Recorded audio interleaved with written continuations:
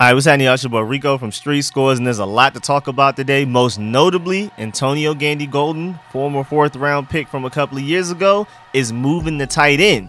And I think is really interesting because does he honestly have a better chance of making the team at tight end than receiver? I know receiver is really deep right now, but don't sleep on the tight end position. So we're going to take a look at both of those position groups and really figure out which one he has a better chance of making the team with. Also, we got a couple of updates on some of our preseason games. We know when they'll happen, where they'll happen, and everything like that. Of course, we got to talk about everything going on in practices so far, including the Antonio Gandy Golden thing, but also also, it's been reported by John Keim that Kelvin Harmon is out there looking pretty good. It's early, but we got to talk about that as well. Also, a little bit of news on Percy Butler as far as whether or not he's ready to step up and be that true third safety right out the gate if we had to play a game today. Also, Cole Holcomb talking about whether or not he's ready to actually step up at the Mike linebacker spot. Also, Jimmy Moreland was released by the Texans. Should we go and look at him again? Should we bring him back? For depth, also some really interesting stats for Samuel Cosmi that even I'm a little shocked about. Also, some stats comparing Sam Howell to Trevor Lawrence, both of their first 19 career starts. Also, Fanalytics has us ranked very low in top NFL fandom rankings, and I'm gonna explain why there's no way the Washington Commanders should be as low as they are. And also, Chad Johnson showing love to not only Terry McLaurin, but another receiver on this team. And I'm gonna dive into why I love that so much and why I'm so happy to see that. But before we dive into all of that, make sure you subscribe to the channel, hit the bell next to the subscription button so you get notification immediately. And every time I release an informative and opinionated video just like this one, the film sessions are on the way. I'm gonna start getting those out to y'all this week, starting tomorrow as in Monday. So be on the lookout for all of those. I'm so excited to finally get those done and then probably in the middle of that or maybe after I'm done I'll get my draft review and grade out there as well I also want to do a live stream kind of checking in on everybody on how y'all feel about the draft and I'll open up the phone lines for y'all to call in and then later on maybe when we have some more dead time where it's not a lot of things going on probably that period between mandatory mini camps and training camp where there's like literally nothing I want to do a live stream where we kind of check back in and I want to get a feel for how everybody feels about the name logo jerseys helmets all of that type of stuff especially now that we're getting pictures from like mini camps and OTAs and things like that, we'll actually see it on the players. So that's gonna kind of be like a checkup on everybody to see how everybody feels. I'll open up the phone lines for that as well. And of course, I'll be looking at the comment section just to see how everybody feels about the new rebranding and all of that after a few months of letting it settle in. So be on the lookout for all of the videos, all of the live streams coming up is gonna be a lot. And without further ado, let's get it.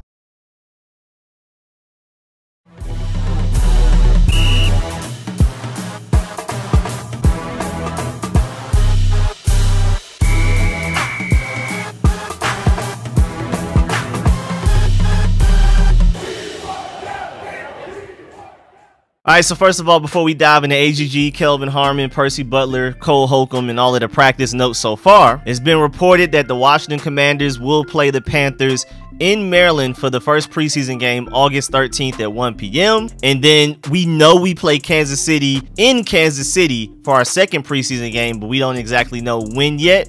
But we do know it's been reported that Saturday, August 27th, will be when the Washington Commanders play the Ravens in Baltimore for the final preseason game at 4 p.m. And why do we always play in Baltimore? Every time I remember us playing a preseason game against Baltimore is always in Baltimore. Even the most recent preseason game I went to for the Washington Commanders was in Baltimore just a few years ago. Is there something to that that I'm missing? Also, wanted to go ahead and announce, and I'm a little sad about this, but we will not be having any joint practices this summer. Now, there were talks that we may have joint practices with the Bills in March, and maybe that JD McKissic situation ended up canceling that whole thing. I guess maybe maybe we kind of burned a bridge there. Who knows? Which is really interesting because Ron Rivera has basically had contact with the Bills and their GM and all of that on how to build the Washington Commanders since he's been here. I mean, they said it's like almost daily contact, at the very least weekly contact, looking for advice from that team. So that JD McKissic situation, if that really burned that bridge, that's gonna suck. So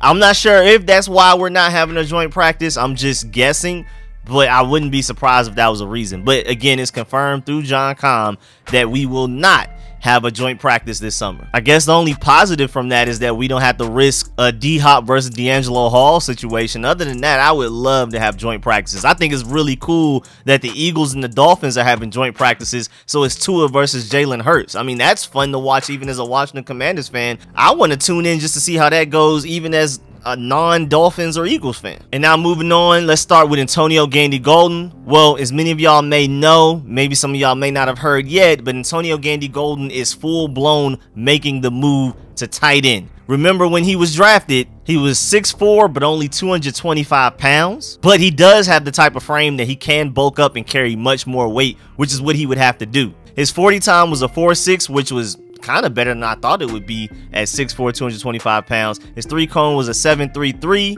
and then he had 22 bench reps, which was really good. And he had a 36 inch vert, which you would hope would be better, but that's not terrible. And then he has 32 inch arms, and he even on tape in college was able to bully corners when blocking in the run game. Now, of course, making a full-blown move to tight end and going from blocking corners that you played against at Liberty to going against NFL defensive ends and edge rushers, that's a completely different thing.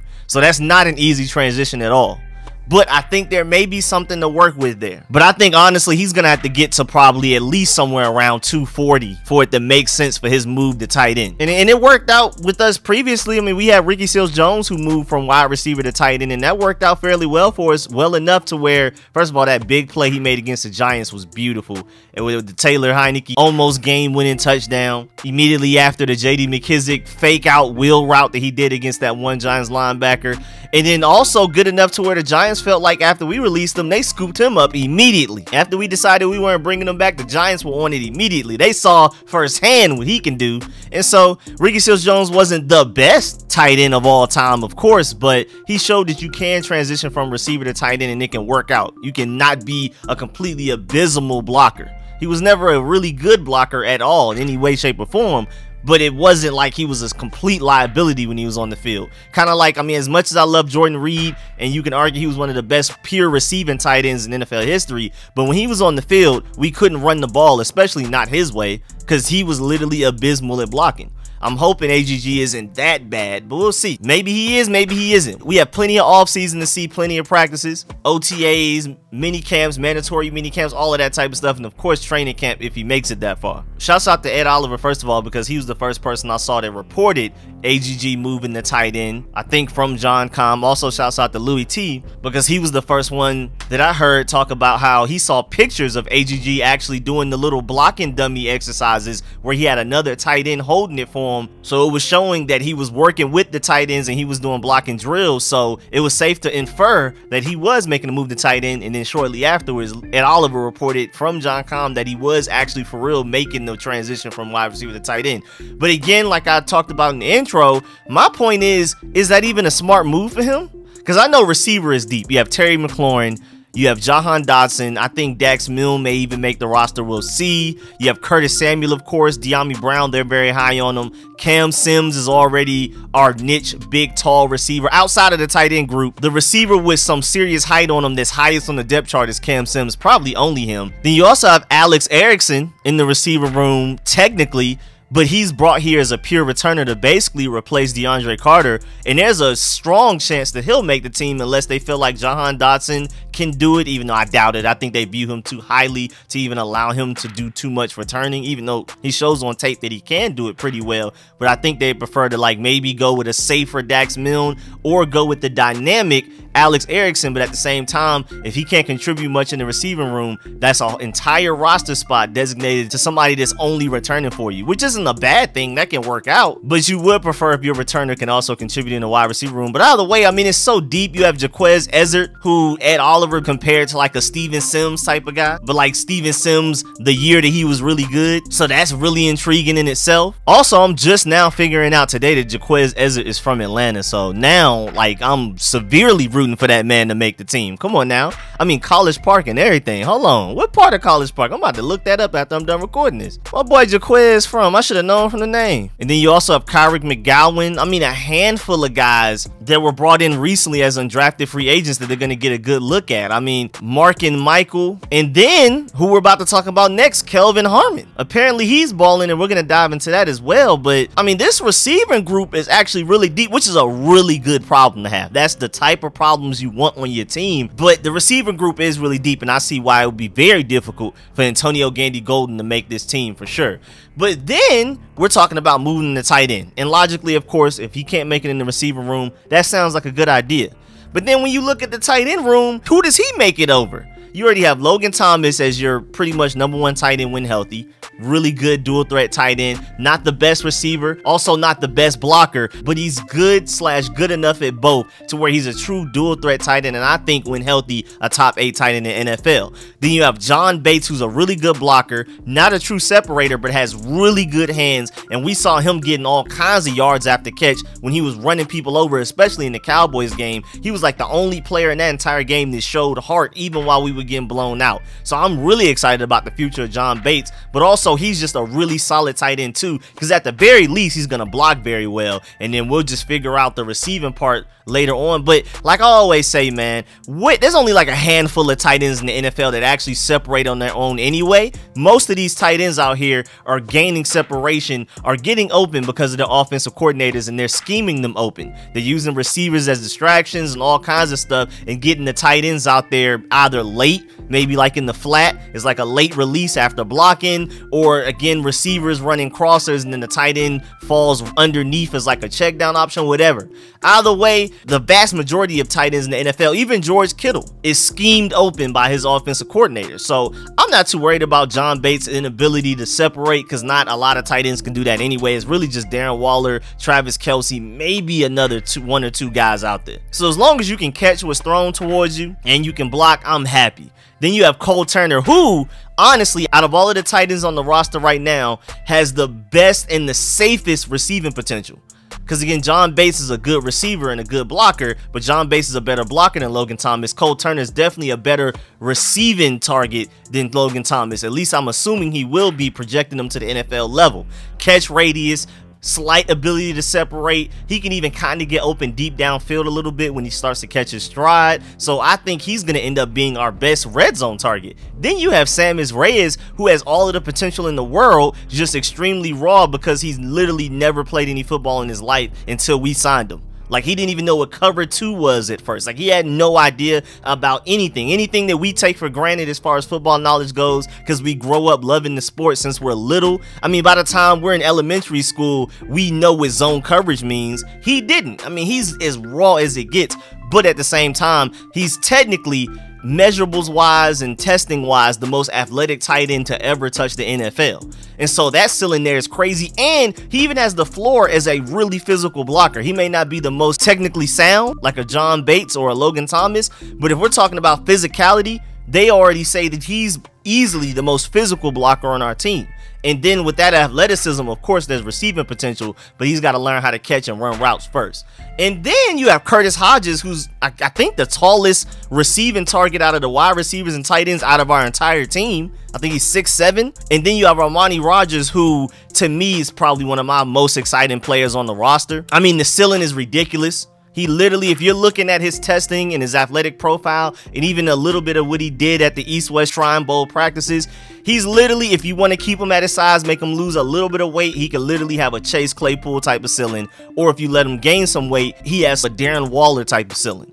I mean, it's just so much potential in this tight end room. I'm so excited. It's one of my most exciting position groups. I would say offensive line is our best position group. I would say as of right now, linebacker is our worst, and you can argue that corner or maybe even D-line in the near future will end up being one of the position groups we have to worry the most about. But as of right now, not saying the tight end room is our best position group, but it's easily the most exciting for me. Of course, outside of quarterback, because quarterback matters most, but ignoring positional value, tight end is easily the most exciting position group on this team, I think by far for me, because just all of the athletic freaks and the crazy ceilings that we have. And Armani Rogers is leading the way. He may not have the exact ceiling of a Sammis Reyes, but if Sammis Reyes has the 1A ceiling, Armani Rogers has 1B. I mean, he's right there with them. The athletic profile is ridiculous. And he's a former quarterback in college like Logan Thomas. We've already seen how that can work out well for us. So, hey, get Armani Rogers in the same thing. If you want to move him to tight end, he's going to have to gain some weight or you can try to make him lose some weight and become like a bigger receiver like a Chase Claypool.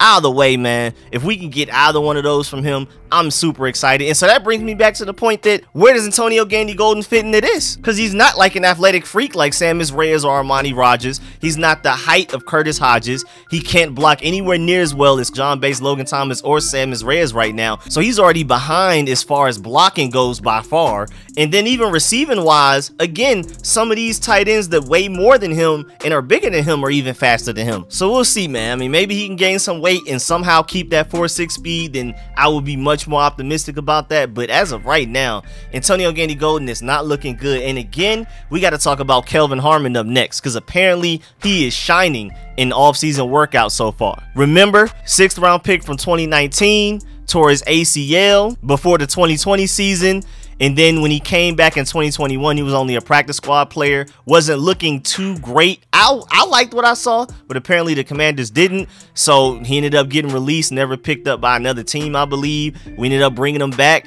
And now this offseason, the 2022 offseason, apparently he's one of the brightest spots so far in practices. So I'm really excited about the potential of Kelvin Harmon because I remember we drafted him, I felt like it was a huge steal in the sixth round. So if he can somehow emerge you know, a well into a, over a year after tearing his ACL in his recovery process and probably getting some of that athleticism back, some of that quickness back, or probably even getting quicker and faster just off of working out and getting into an NFL exercise program. And then, I mean, of course, he's a big body jump ball receiver. And again, outside of the tight end room, Cam Sims is probably the only big receiver that we have that's slated to make the roster. So Kelvin Harmon can go out there and really look good. He may find a way to make this team when we get to the 53-man roster. Who knows? And then before we move on to Cole Holcomb talking about how well he can play the Mike linebacker role and the fact that he's ready, it's been reported through John Keim that Percy Butler doesn't particularly look ready right now.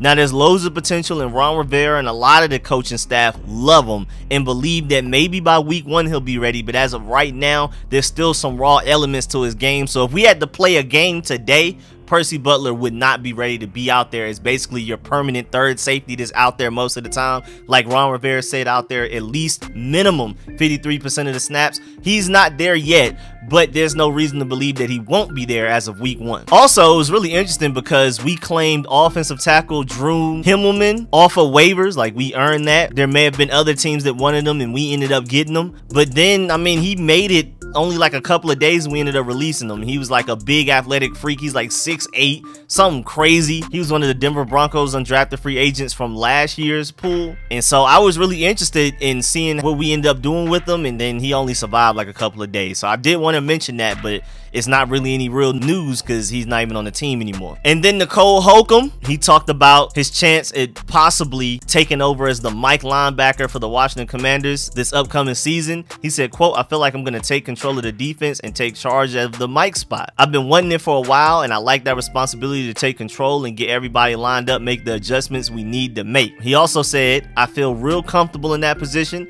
I was calling the defense all last year. I had a little bit of that responsibility the year before. I feel like I've grown a lot in terms of being comfortable in those situations. And to be completely honest, as far as Cole Holcomb, Mike linebacker role, is not ideal, but I don't think it's hit the panic button bad. Like, of course, I would love to bring in a veteran that could probably take over as the Mike linebacker, and then you have Cole Holcomb more as the outside, and you have Jamin Davis moving more to like a will linebacker spot. I think that's ideal, but I don't think Cole Holcomb at the Mike is like panic mode. Our defense has no chance of being really good to elite because Cole Holcomb is the Mike linebacker. I think he actually played very well last year. Again, I prefer him outside, but he's definitely improved a lot in the Mike linebacker spot. I think a lot of it, of course, was learning how to call plays because we gave that responsibility to Jon Bostic last year year, we pretty much just assumed that he would dominate that role as far as like being the quarterback of the defense. Then after he got hurt, we started to throw that more on Cole Holcomb. It was an adjustment period, but he started to learn and started to get better and better as the season went on. He improved in coverage, everything.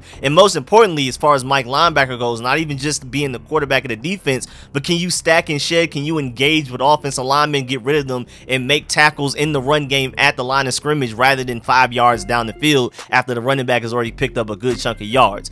That's the thing I'm really going to keep my eye on with Cole Holcomb. That's one of the main reasons I want to bring in like a true Mike linebacker, a bigger guy that's willing to go head to head with guards, centers, and tackles, get rid of them, and then make a tackle in the backfield or at the line of scrimmage on running backs. That's one thing I'm worried about with Cole. But as far as like getting the defense where they need to be, all of the pre-snap stuff and all of the intelligence, IQ, and being the quarterback of the defense stuff, I'm not really worried about that. He showed us last year that he could handle that. Again, it was a little bumpy in the beginning because we didn't even really allow him to do that that much during the offseason because again, we assumed Jon Bostic would be there and would stay healthy and be able to do that even though he was a liability in every other way.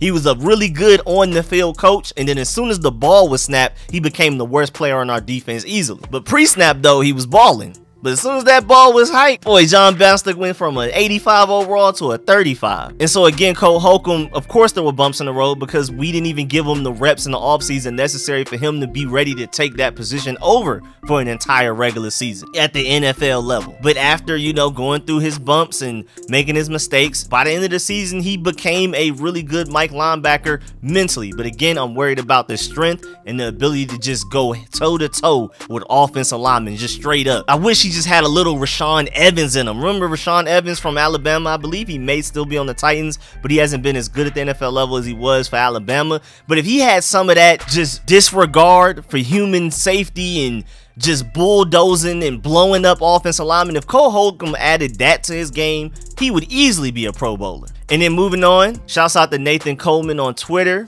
He brought up some interesting stats for Samuel Cosmi. He was third best in run block win rate amongst all NFL tackles. He had the fifth highest pro football focus overall grade for a rookie tackle since 2017 with a 74.9. And he ranked 11th overall in pro football focus run blocking grade as a rookie and he missed games. And the most notable part about him missing games is that when he came back, he didn't even look like his former self. So it took him a while to get back to what he used to be. So his grade was brought down even lower because after he returned from injury, he was clearly not himself. And I'm expecting big things from him moving forward. Also, another interesting stat comparing Sam Howell to Trevor Lawrence, their first 19 career starts in college. Trevor Lawrence has a 3% better completion percentage, but Sam Howell nearly threw 1,000 more yards, threw 14 more touchdowns and only one more interception. So I think that's really interesting right there because they're both the ACC. They pretty much play the same people other than Trevor Lawrence like in the playoffs going against Alabama and teams like that. Other than that, they pretty much have the same schedules. So I found that very interesting, especially since Sam Howell lost all of his weapons going into the last season. Poor guy. Speaking of Sam Howell, you have Sam Howell, Jahan Dotson, and Brian Robinson taking the picture with the other rookies. And I, I think it's just, you know, slightly interesting that between us and the Jets, we're the only teams out there, I believe, with three rookies in the pictures. I also like the fact that there's a lot of Georgia Bulldogs out there too as well. Got my boy James Cook, George Pickens, Travon Walker, and Zamir White all standing next to each other from their different teams. So I feel like the Commanders represented very well, and I'm sure the Georgia Bulldogs represented very well. I'm assuming they have the most players there there's only about 40, 50 of them. Also, gonna do some a little bit of bad news and a little bit of good news. The bad news is, and of course you can take it with a grain of salt because it's just an article printed by a website named Fanalytics, and his name is Mike Lewis, an Emory marketing professor. He ranked the NFL fan bases and he used all kinds of statistics and whatever data. He has us ranked dead last with the Tennessee Titans 31, the Bengals 30, Cardinals 29, Jaguars 28, Bills 27, Jets 26, Buccaneers 25, Rams 24, Lions 23, Dolphins 22, and Colts 21. And we don't even know the other ones yet. He's going back to front as far as how he's releasing them. And not even being biased, but that's definitely not right. I mean, even just the fact that we have fans everywhere. Like, I mean, we're one of the most global fan bases, mostly because of what we did in the 80s and 90s. But we're one of the most global fan bases as far as having fans in Australia, the UK, Brazil, Mexico, Germany. I mean, literally everywhere. And of course, we have done a lot of losing, but I mean, our fan base is willing to travel even when the team is 0 and 16, they're pulling up to that 17th game. And a lot of fan bases aren't like that. I mean, for me, raised in Atlanta, I've seen the Falcons, they're 2 and 5, fans stop showing up at the games. And they have a great stadium. At least they're comfortable. They're in perfect weather dome if they need to open it up if the weather's great enough outside they got everything they need for a comfortable experience. Whereas our stadium is apparently like one of the worst in the nfl if we're two and five the fans are still out there. The main reason washington fans have really stopped going to the games even more than the losing is just dan snyder. So putting us dead last i mean of course i'm not saying we're top five as of right now 20 years ago we were and he even acknowledged that in the article he said quote the commanders represent a true fall from glory washington was a top 5 or 10 brand when we began these rankings Two decades of losing, poor talent acquisition, and long-term name controversy has pushed the club to the bottom of that list. Now, maybe he's done some research that I just don't know about, and maybe he's right, but I really don't. Dead last? Again, off of what I've seen from Falcons fans, I mean, I love Atlanta, but Falcons fans, man, them boys two and four, stadium empty. A lot of my friends don't even watch the games once it gets that bad, and that's not even that bad. Two and four isn't terrible. It's not like the season is over. And then on to some good news, my boy Chad Johnson aka Chad Ochocinco, has a video recently where he's basically talking trash back and forth with Jahan Dotson, saying that he basically won't catch touchdowns against them one on one, and they're about to go prove it. So I can't wait for that footage. But I just love how much Chad Johnson is attached to our receivers. He loves Terry McLaurin. He talked about it on the I Am Athlete podcast like a year ago or something when they were talking about underrated receivers, and Chad Johnson was super high. That was the happiest he got the whole show about a receiver talking about Terry McLaurin. I mean, it just made him super smile. He loves him.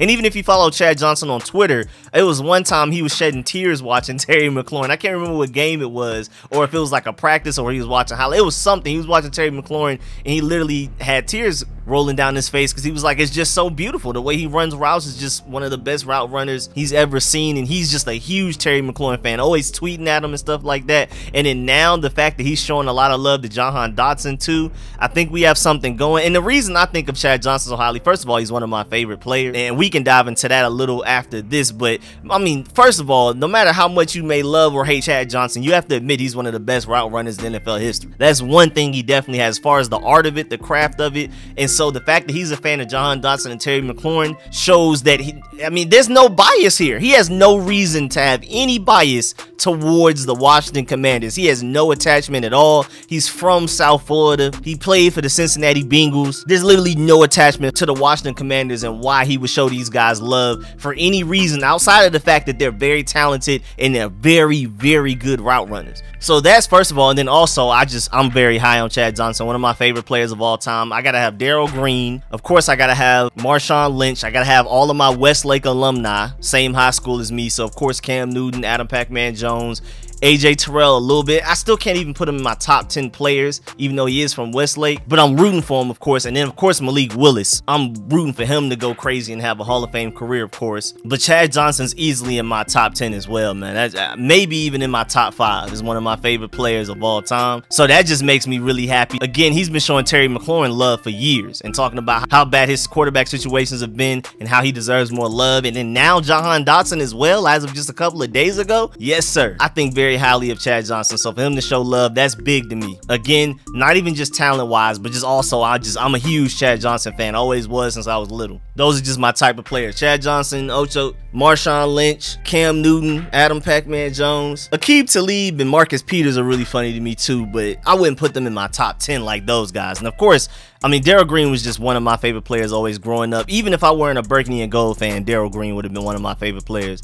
And Sean Taylor is like an automatic. I mean, that's really not even to be discussed. But yeah, man, that's the end of this video. Please get in the comment section. Let me know how you feel about everything discussed in this video. Especially, like, do you think Antonio Gandy, Gandy Golden really has a chance of making this roster at tight end or receiver? And if you had to pick one, which would it be? Is it tight end by default just because we already know receiver is a big no? But again, I don't think tight end is a cakewalk at all. I think it's just as slim as receiver, but at least they're giving them a chance to see. So definitely get in the comment section. Let me know how you feel about that, about us not having joint practices, about Kelvin Harmon shining right now. Are you excited about him? And of course, do you want to bring Jimmy Moreland back after he's been released by the Texans? Because I remember it being fairly close as to why he didn't make the roster. Like they just wanted to keep Torry McTyer. He was balling in the preseason and stuff like that. So we may still like Jimmy Moreland a little bit. He may still be on our roster, but I don't know. This regime didn't draft him, but they got to see him up close and maybe they'll bring him back. It's depth. And of course, do you feel like Cole Holcomb can handle the Mike linebacker responsibilities? Are you excited about Samuel Cosmi hearing those statistics I gave y'all? Are you excited about Sam Howell's potential comparing him to Trevor Lawrence statistically and how he was better? Also, definitely get in the comment section let me know how you feel about these fan base rankings. 32nd out of 32 teams dead last? There's literally no way. And of course, man, I appreciate the support, man. Please leave a like on this video if you liked it, if you learned anything. I know you learned at least something, so you're legally binded to leave a like on this video. And of course, I appreciate all the support, man. Shouts out to all of my sponsors, especially my Pro Bowl sponsors, whose name you see scrolling on the screen right now. Be on the lookout for all of the content, videos, and live streams coming up very soon. I'll catch y'all later. I'm out.